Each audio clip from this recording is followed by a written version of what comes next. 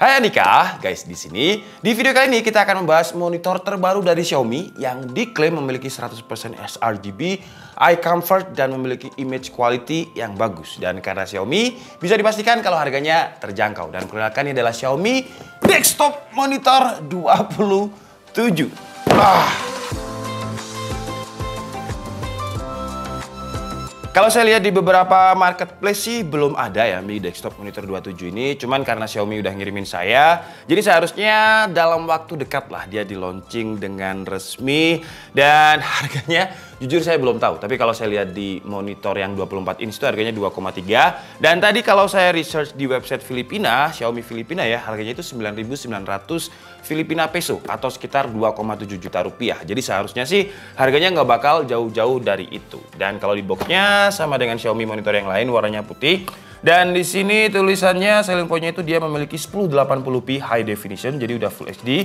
Terus sudah super narrow bezel, jadi kita lihat nanti framenya apakah setipis gambarnya. Dan wah kali ini sih bahasa Rusia ya, Montok, eh sorry, Montok Mi 27 ya, monitor top, monitor top 27. Dan sekarang coba kita lihat ya di dalam paket pembeliannya ini ada apa aja. Wah, jadi pertama ini ada bisnya, bisnya ini besi yang nanti tadi kalau misalkan kena kaki saya, wah kayaknya bakalan saya nggak bisa syuting satu minggu ya, pincang. Wah, weh barbar banget bukannya tapi nggak apa-apa ya. Yang penting kita tahu di dalam paket pembeliannya ini ada apa aja. Jadi pertama kita dapat base.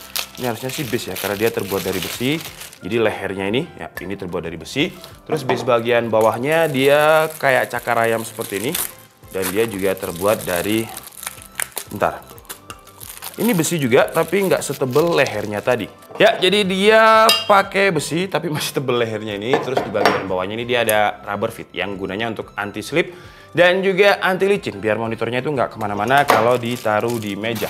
Terus kita juga dapat kabel nih, coba kita lihat kabelnya ini dia kabel HDMI dengan konektornya warna gold seperti ini. Jadi transmisi datanya bakal lebih bagus. BTW saya tadi lihat di websitenya untuk HDMI-nya dia 1,4 belum 2.0 ya karena memang harganya mungkin ada di range 2 juta jadi ya nggak apa-apa lah ya walaupun masih HDMI 1.4 terus kita juga dapat buku panduan dan garansi yang tebelnya segini tapi ini nggak terlalu penting juga ya jadi nggak usah kita bahas. Terus kita dapat kabel adapter yang adapternya udah adapter Indo. Wah, berarti dia bentar lagi launching resmi nih ya. Karena kalau bukan yang Indo itu biasanya ceper atau gepeng dan untuk inputnya dia pakai input DC seperti ini. Dan ini adalah Mi Desktop Monitor 27-nya. Sesuai dengan namanya 27 berarti dimensinya 27 inch. Untuk klaim super narrow bezelnya, hmm, iya sih ya.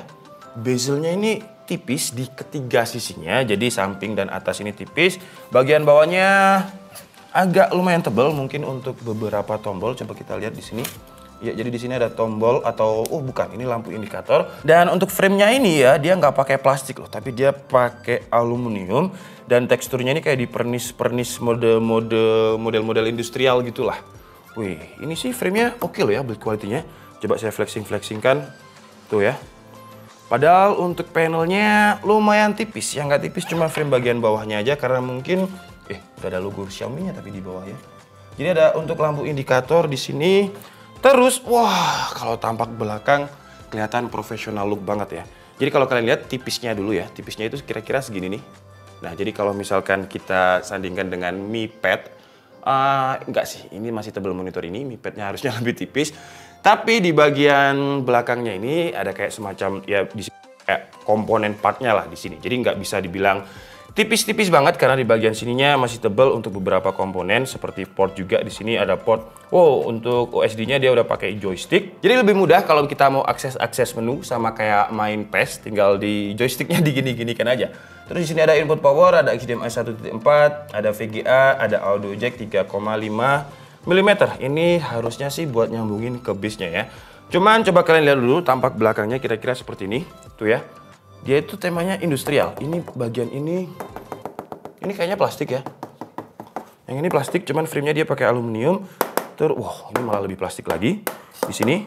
Terus di sini juga ada tulisannya Design by Xiaomi. Wah, saya pribadi sih suka ya dengan desain-desain industrial yang simple seperti ini. Cuman desain itu selera orang masing-masing. Jadi silakan tulis di kolom komentar apakah kalian suka dengan desainnya Xiaomi desktop monitor 27 inch ini. Sekarang kita coba pasang untuk base-nya dulu ya. Nah, kita coba pasang antara kaki dan lehernya ini dulu. Jadi caranya gampang banget sih ya. Di sini udah kayak ya kayak masang puzzle biasa aja. Di sini ada bolongan, di sini ada bukan bolongan, intinya masukin aja yang pas. Terus di bagian bawahnya ini nggak perlu pakai obeng karena dia ada kayak semacam gocelannya ini apa bahasa Indonesia gocelannya? Pegangannya ini. Jadi kalian tinggal puter aja seperti ini sampai dia rapet. Nggak perlu pakai mur dan teman-temannya. Nah sampai dia rapet seperti ini. Atau bisa pakai koin ya. ya. Jadi koinnya itu diginikan aja udah bisa. Cuman pegangannya ini udah cukup. Dan ini juga lumayan solid. Nah seperti ini. Sekarang waktunya kita pasang ke monitornya. Dan seperti inilah kalau misalkan base bagian bawah dan lehernya udah terpasang, untuk adjustmentnya dia cuma bisa tilting aja ya. Jadi cuma bisa atas bawah seperti ini untuk high adjustment dan juga swivel dia nggak bisa. Tapi untuk tiltingnya ini kita pakai satu tangan, base bagian bawahnya nggak ngikut tuh ya. Karena memang ini tebal banget besinya untuk lehernya dan base bagian bawahnya juga udah lumayan berat. Jadi distribusi beratnya bagus antara monitor dan juga base-nya. Lebih berat base-nya, jadi kalau kita adjust itu eh kok Rono?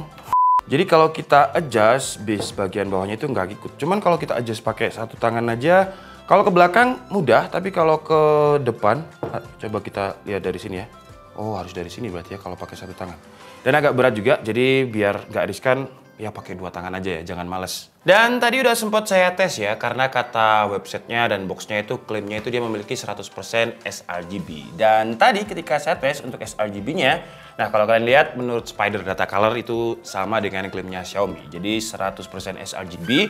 Kalau untuk NTSC-nya dia ada di 77%, Adobe RGB-nya 80% dan P3-nya ada di 87%. Untuk spesifikasi lainnya, brightness dia ada di 300 nits, kontras rasionya ada di 1000 banding 1 dengan aspek rasionya 16 banding 9, ada di 16,7 miliar warna dengan response times-nya itu 6 milisecond G to G atau gray to gray. Kalau untuk maksimum refresh rate-nya dia bisa sampai 75 Hz, cuman yang direkomendasikan Xiaomi 60 Hz aja.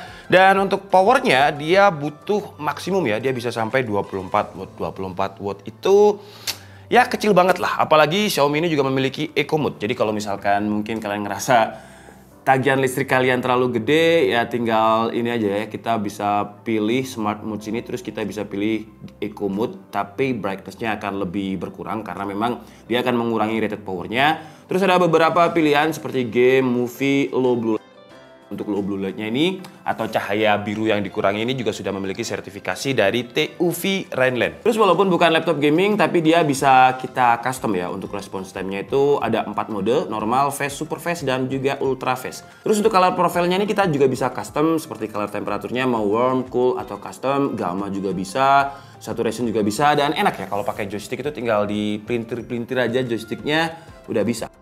Dan menu-menu lain di sini standar sih ya, brightness, contrast, black level, apalagi nih, smart mode udah tadi. Dan untuk inputnya terbatas di HDMI dan memang portnya tadi cuma ada HDMI dan VGA satu aja. Terus ini juga kayak sistem information, ya standarnya monitor lah. Dan yang perlu diperhatikan lagi adalah dimensinya ya. Jadi dimensinya ini untuk panjangnya dia 613 mm, terus untuk lebarnya itu 205 mm dan tingginya 476 mm. Jadi pastikan kalau misalkan kalian memang tertarik dengan monitor ini, mejanya itu gitu, jangan kekecilan. Terus untuk bobotnya dia 4,3 kg, bobot yang ringan seharusnya. Seharusnya sih meja apa pun kalau menahan bobot 4,3 bakalan cukup. Oke guys, jadi mungkin cukup segitu aja video unboxing dan juga preview dari Xiaomi desktop monitor 27 inch ini.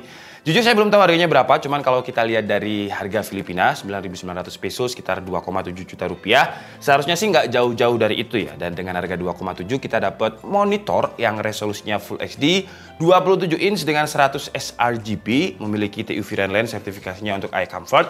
Buat kalian yang sukanya produktivitas dengan 100 sRGB-nya ini aja, udah cukup kalau misalkan kalian gunakan untuk preview foto ataupun preview video. Terus dari segi desain, dia terlihat simple tapi industrial karena framenya ini kayak nggak asal hitam gitu. Jadi ada kayak pernis-pernis ala-ala konkret atau semen lah, semen yang warnanya hitam. Jadi kalau saya pribadi sih suka ya dengan desainnya yang simple. Terus untuk adjustmentnya dia cuma bisa di tilting sih ya, sayangnya cuma tilting aja, nggak bisa diangkat high adjustmentnya swivelnya juga nggak bisa, dan untuk portnya lumayan terbatas, jadi hanya ada satu HDMI 1.4, VGA, terus input power, dan juga audio jack. Terus kalau untuk panelnya yang IPS Full HD dengan maksimum refresh rate 75 Hz, sebenarnya standar sih ya, banyak monitor 2,7 jutaan yang udah IPS yang udah 75 Hz juga. Cuman karena ini udah dites dengan Spider Data Color 100% sRGB. Jadi Xiaomi ini untuk kelas harganya masih menjadi monitor yang terbaik lah ya. Kalau harganya nanti sekitar 2,5 atau 2,7 juta. Oke, jadi mungkin cukup segitu aja. Kita kali ini saya minta maaf kalau ada kesalahan dalam penyampaian informasi. Seperti biasa kalian bisa mengkoreksinya di kolom komentar. Saya Dika Budi and see you on the next video. Bye-bye.